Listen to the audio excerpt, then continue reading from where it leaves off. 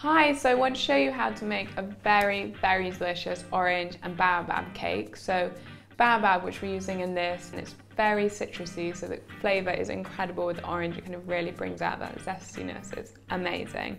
And it's such a simple recipe. To get started, I've just soaked some flaxseed with water. It really helps stick the cake together, so that needs to soak for about 15 minutes before you get started. And then once you've got that, the first step is just to melt a little bit of coconut oil. So we just want about three tablespoons, and again, this helps stick the recipe together. While that's melting, we can start getting everything ready. So we need the zest of one orange. smells so good. So then you can just pop this into your mixing bowl while we get the juice from the orange. And then we can get working. So we just pour all that amazing juice to the bowl. And then add our melted coconut oil. And then we want a little bit of brown rice milk. You can also use almond milk or something, but the brown rice milk has a natural sweetness, which is really nice. And then a little bit of maple syrup as our sweetener in this, which tastes lovely with the orange and baobab.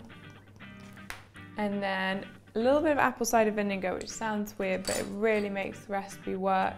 And ground almonds, so we need 200 grams, which is this whole pack. And then polenta, which is our other flour, which is so nice, really nice using something a bit different. So I'm gonna measure out about 270 grams. It's a great orange color, kind of complements the orange that we got in there. Our baobab. So we want six tablespoons of this so that we really smells good. So we really taste it. And then our final things is a little bit of vanilla, is one of my favorite flavors. And I'm just using ground vanilla instead of vanilla essence because it's much more natural, doesn't have any of the other ingredients in.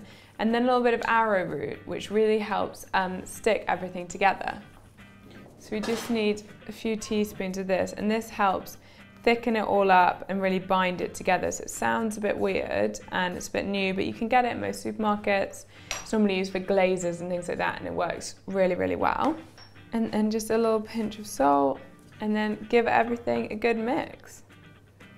So it's a nice recipe, you don't need any equipment or anything, so it's quite easy and quick. It's relatively mess-free to put together. And there we go, so you can see it's got a nice orange colour and it smells so good. So you can use a baking tray.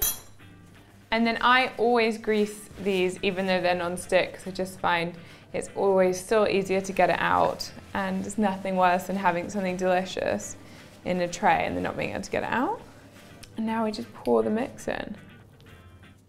And there we go. So we just pop that in the oven and then when it comes out, we're gonna put a beautiful kind of orangey glaze on it. So once your cake's cooked, your kitchen's smelling amazing, we can take it out and we can do our glaze. Then we're going to zest two more oranges, get the juice from them and mix that then with a little bit of coconut sugar. And then get the juice from them. Might be worth just pouring your juice through a strainer so it's nice and smooth for the glaze. And then we stir in our zest and add a little bit of coconut sugar. And there we go. So yeah, that's cooled down. We can just, yes, flip him out and then put the glaze on. And there we go. So here is our amazing orange and um, baobab cake and it smells so, so, so good. And here we go.